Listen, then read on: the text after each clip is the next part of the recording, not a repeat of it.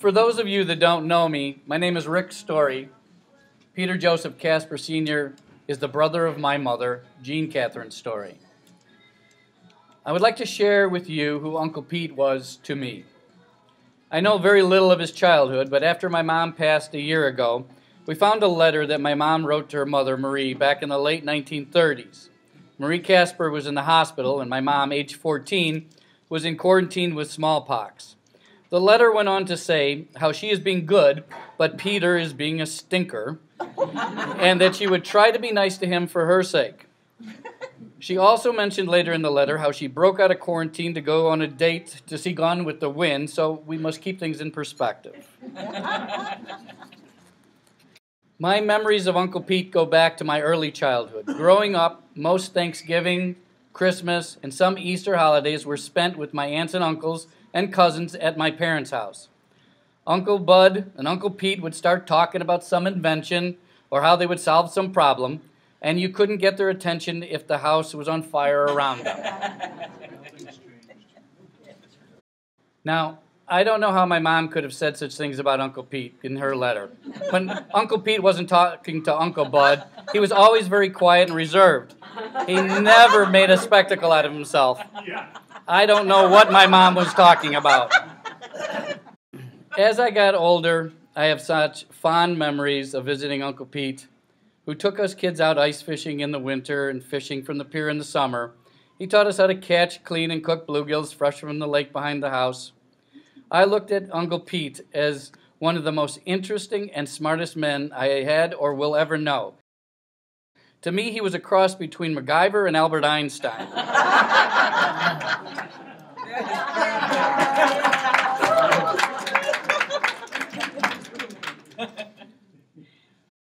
Uncle Pete was always there for my family. He taught my kids to bait, catch, and release their own fish. He was also Matt's sponsor for his confirmation. He always had time to come out and fix one of our appliances or talk to me over, through it over the phone. When we would visit Uncle Pete and Aunt Lois, they were the best hosts. Uncle Pete always made sure everyone had enough to eat. I'm glad you got there. We didn't see, Oh, we couldn't find them. Here was a man that could rebuild a car or build his own home or a telescope to track the stars, or build a model remote control boat that was better than anything on the market. Even in the 80s, he could still sail his boat, or in his 80s, he could even sail the boat or swim in his lake. It wasn't the 4th of July to me unless I was watching fireworks from his pier. Uncle Pete took to computers and smart, smartphones like a fish to water. He was always excited to show you the latest app he got or the latest trick he learned. One of my best memories was a vacation we took together when Uncle Pete was 80. Twelve of us, aged 2 to 80, took the train to Glacier National Park. There was Sue, Matt, Andrea, Rebecca, and me, Jim, Cassie, and Trevor, Pete and Naomi, and Uncle Pete and Aunt Lois. We were a captive audience on the train for 28 hours to Uncle Pete and his iPhone. It was the best vacation, and I am so happy I will always have those memories. A few years later, you could see Uncle Pete starting to slow down. Here was a man who at 80 had more energy than most children. He knew it was happening, and he commented on how his get up and go had got up and gone. He knew that old age was finally setting in, after he found out that he only had six to nine weeks to live, he handled the news with dignity and a sense of humor that was typical of Uncle Pete. Uncle Lane, Aunt Pat, Terry, Sue, Jim, Cassie, Trevor, Nathan, and I had dinner with Uncle Pete and Aunt Lois at Pete and Naomi's house on December 17th, 2017. Uncle Pete joked about going into the next life with his iPhone. He wanted to be buried with it, that night he said that he had accepted his fate, and the only thing he asked that he had of a funeral just like his sister Jean.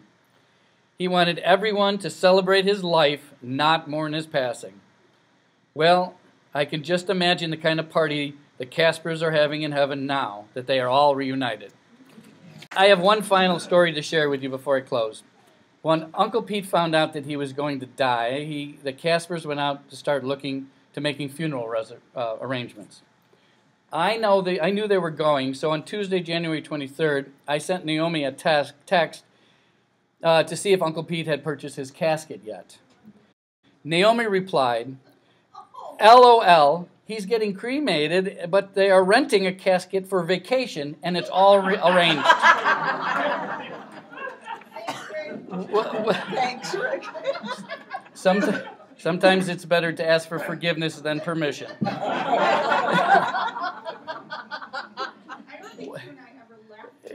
Well, I, I read that a couple of times and I replied, What? Renting vacation? Now, two minutes passed without a response from Naomi, and I'm envisioning Uncle Pete and Aunt Lois. Come on, Lois, let's give this, this casket a test drive. I felt it was not without the realm of possibility. Exactly. Put a motor on the back of it and see how fast it goes.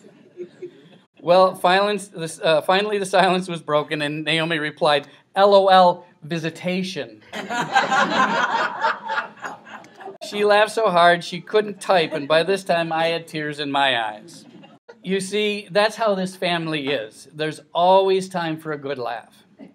In closing, I would like to end with the immortal words of Peter J. Kasper Sr.